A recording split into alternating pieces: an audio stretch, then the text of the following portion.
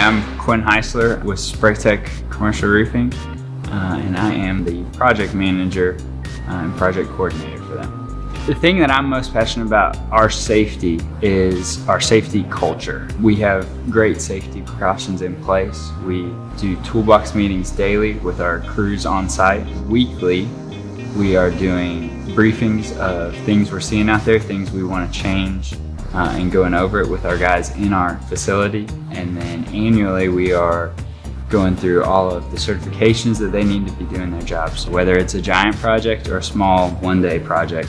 Um, our guys have it driven into them that this is more important than just them. Uh, there's families that they have to take care of and they want to go to every day. And so that that mindset of I'm not just being safe because I was told to, but because it's the right thing for me and for this company and for the people that work around me. So just embracing that and being willing to stop a project if needed or hold off or wait until better conditions uh, or even find a creative solution to a problem. That's where our, our passion and our safety kind of come hand in hand.